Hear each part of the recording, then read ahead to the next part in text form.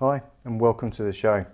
This week I'm taking a look at a battery bank, one of these backup power units. It is claimed to be 50,000 milliamp hours in capacity and a 2.1 amp and a 1 amp 5 volt output. Um, I seriously doubt that, but let's take a look and I uh, intentionally want this one to pull down and use for future projects. I'll talk about that as well.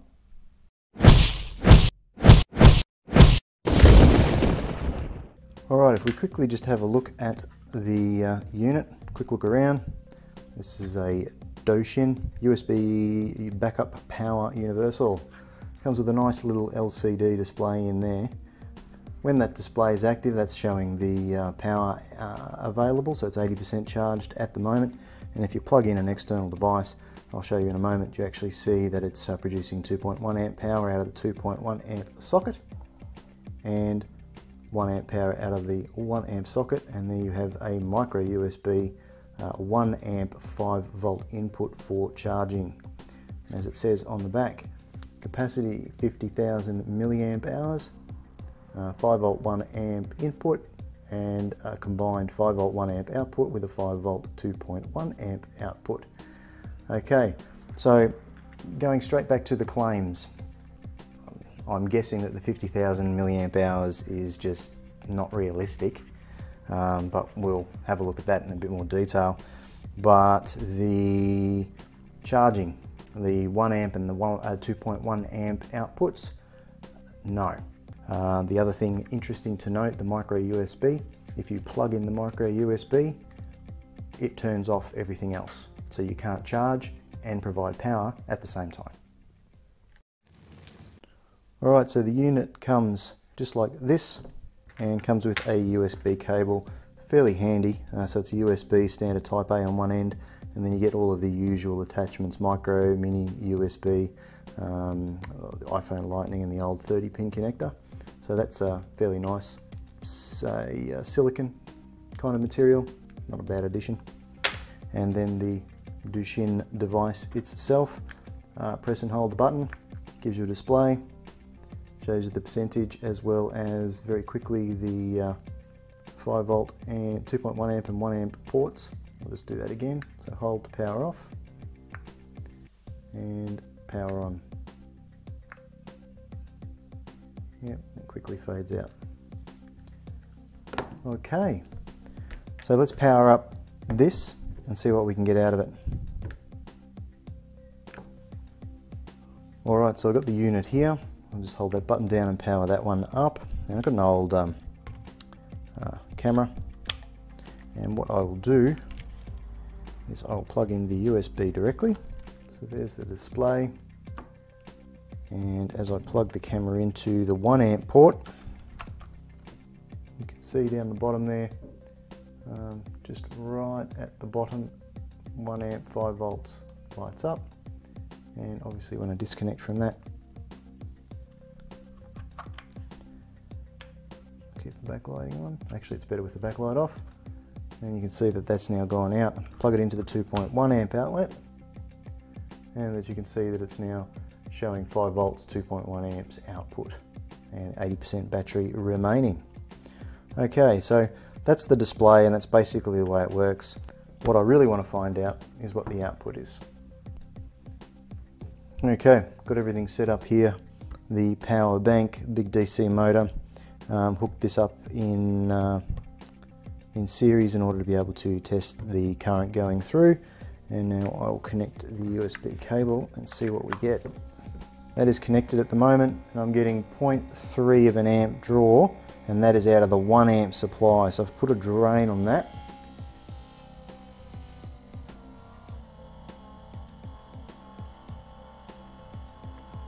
I can get it up to 1.1 amps, that's pretty good.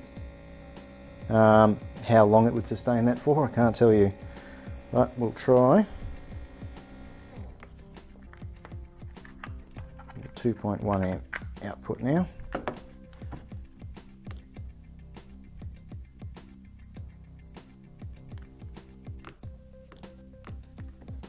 Does not like it. Power the unit on.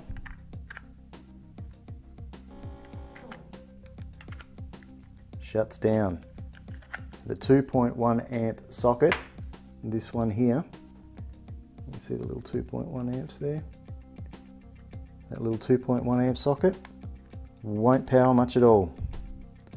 So that is probably why it wouldn't power the 2.1 amp device that I had plugged into it before because it is actually not capable of putting out that much power. All right, well I've just tested that with a couple of different motors and a few other things swapping between the two ports. Um, I can get it to power on, but if I hit it, go straight to 0.7 amp draw and the unit shuts off. Can't even get it to turn on in the 2.1 amp slot. So, as I kind of suspected, the claims on this are not exactly accurate. But what I really want it for, uh, even if it's the 50,000 milliamp hours or the 50 amp hours is exaggerated, which I seriously suspect it is, um, if it's around about a 6 or an 8 amp hour battery and there are 5 volt outputs and I compare the two 5 volt outputs together to get say 2.5 amps on average uh, and I have a charging port in there then I have myself a reasonably cheap somewhere between 6 and 8 amp hour battery for portable devices with a couple of spare USB ports added in. So next step, break this one down, take a look inside. I get the added advantage of the LCD screen to tell me the charge rate of the device or the remaining power. And in portable devices, knowing what remaining power you've got, even if it's a percentage, is fantastic. So let's take a look inside. Okay, so we're almost in. A fair bit of brute force required. And we are in. So what we've got by the look of it is a small integrated board, the little LED torch just there in the corner, uh, little integrated board there and a battery pack and these look like 18650s or very close to it. And yeah, see if we can go in a bit further. Alright, so if you can just see down in there, and I'll keep going anyway, but if you can just see down in there, looks like we're talking about um, a power distribution and USB board and then a small display board just in the back there which is of course this display and button. Right, so there's the little push button dome switch. There we go, we're powered on. Power off.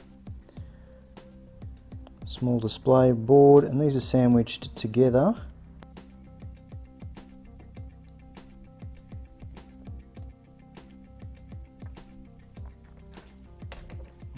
so there is the LCD module.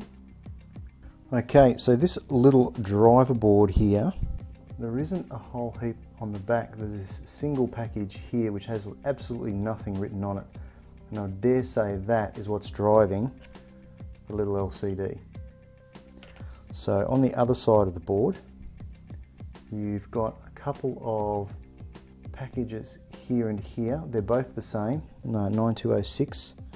I'll get the full number and put it in the description of the video. Uh, it's a very, very small one here and then nothing else. So I'd say these two are regulating one way or another the two um, USB ports.